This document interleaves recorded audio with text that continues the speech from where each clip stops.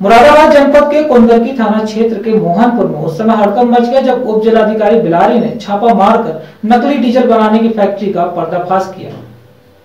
Police की छापेमारी देखकर फैक्ट्री संचालक शमशाद मौके से फरार हो गया। आपको बता दें कि मोहनपुर गाँव में लंबे समय से नकली डीजल बनाने का कारोबार धड़क्के से चल रहा था, जिसकी शिकायत निरंतर एसडीएम बिलारी को मिल रही थी। बुधवार को एसडीएम पुलिस फोर्स को लेकर मौके पर पहुँचे और डीजल बनाने की फैक्ट्री पर छापेमारी करते हुए लगभग 20 ड्रम कैरोसिन तेल बरामद किया है। संभावना जताई जा रही है, सरकारी शासन विक्रेता कैरोसिन का तेल ब्लैक करके नकली डीजल बनाने वाली फैक्ट्री को सप्लाई करते थे।